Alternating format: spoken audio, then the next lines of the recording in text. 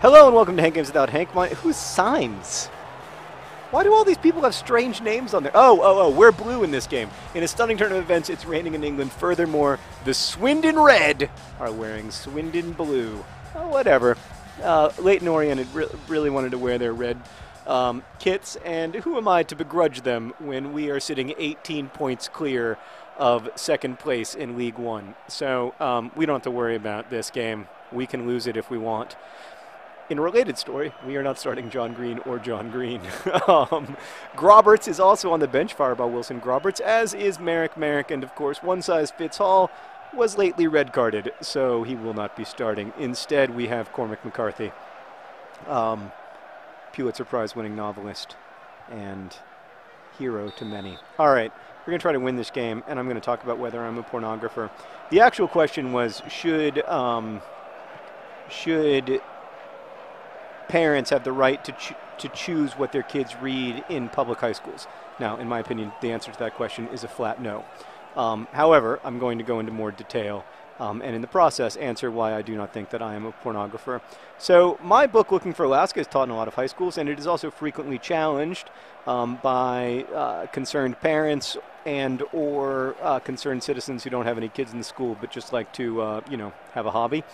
Um, and then they try to get the book removed from the school curriculum, and sometimes they fail, and sometimes they succeed, and and it's you know it's annoying. It also um, I think really hurts like the oh Green Eggs and Fotheringham overall quality of public discourse because you know then people are naturally afraid to teach anything that might be controversial because they don't want you know look look it's a really hard freaking uh, job to be a teacher and you don't necessarily want to add to the challenges by teaching something that uh, that might be deemed controversial by one or more of the parents of some of the kids in your in your class. So, um, you know, I am hugely sympathetic to that position.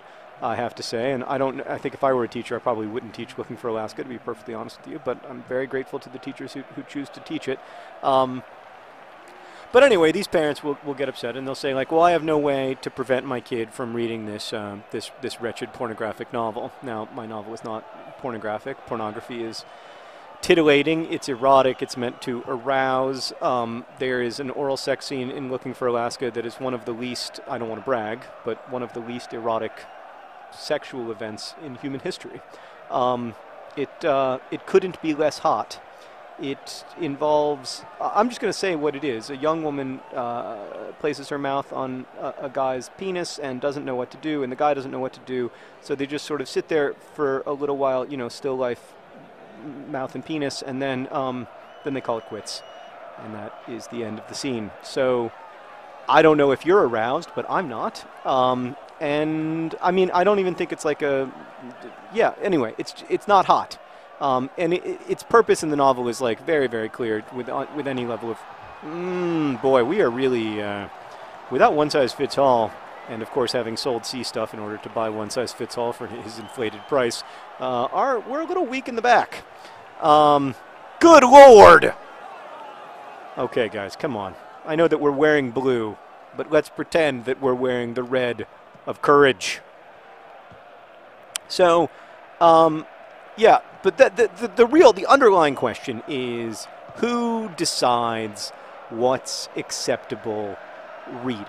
Um, or, and it's not just about reading, it's not just about English classes. Like, for instance, if you don't believe in evolution, your kid still needs to take biology. Um, and, you know, a huge part of, like, you really can't have any conversation about biology without, or not much of one anyway, without talking about evolution and the role that evolutionary pressures have played on, you know, diversifying and then not diversifying life on the planet. Everything worked out better than expected.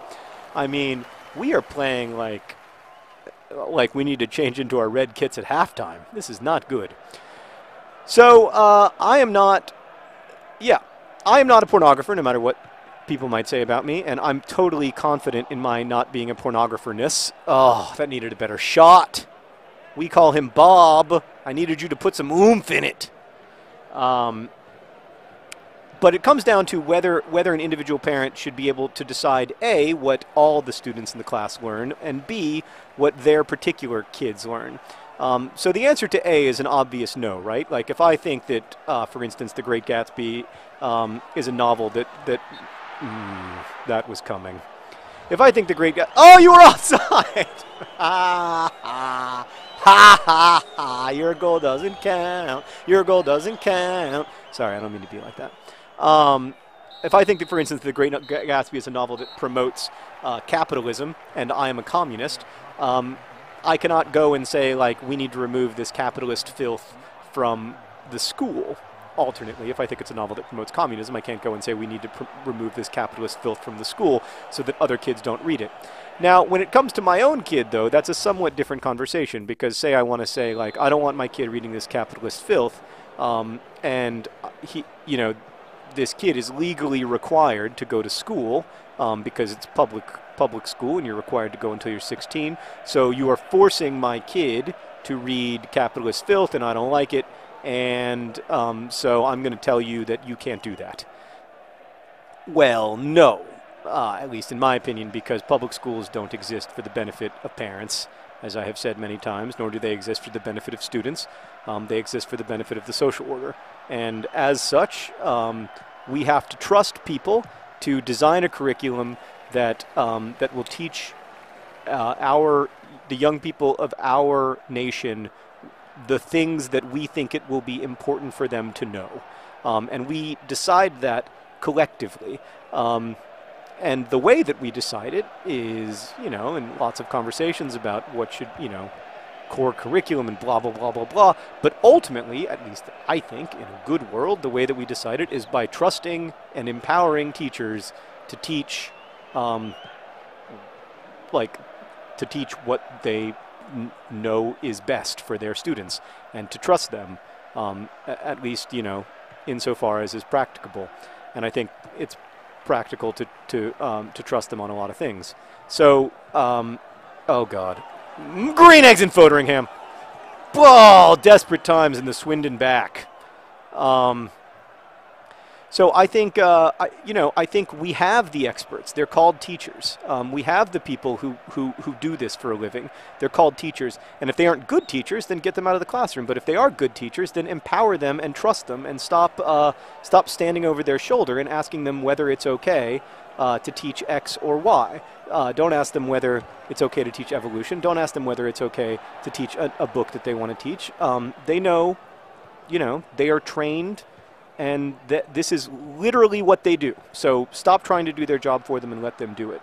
Um, and I, I, don't really think that we need to, uh, you know, I, like my kid is going to learn things in school that I do not agree with one little bit. Um, he may, you know, read about oral sex before. Oh, green eggs and Fotheringham with the game of his life.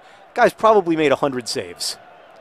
Uh, we're just not fast enough. We're not fast enough without the John Greens to play that game that we like to play, the over-the-top game.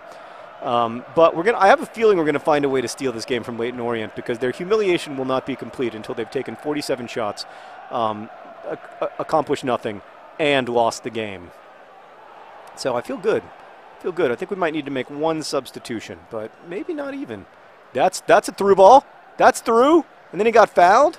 Then back to Leroy Williamson, please. What a goal! What a goal! What a goal! Oh, Meredith, play me the song. Leroy Williamson scores occasionally. Leroy Williamson scores occasionally. He doesn't always score. Leroy Williamson he scores occasionally. Leroy Williamson I mean, scores what? occasionally. Also shows his personal life. It's just a thing of beauty when everything comes together like that. Leyton Orient have had 87 shots on goal. I think we've had one. And look who's winning. The Swindon Blues. Um, I will never play in blue again because it seems to make our players uh, lack courage and focus. So, um, yeah, that's what I think. I, I, know that's sort of a radical position, but um, I, I think my kid is going to learn a lot of things in school that I don't agree with, and I'm okay with that. And I understand that, like, that's the. Oh!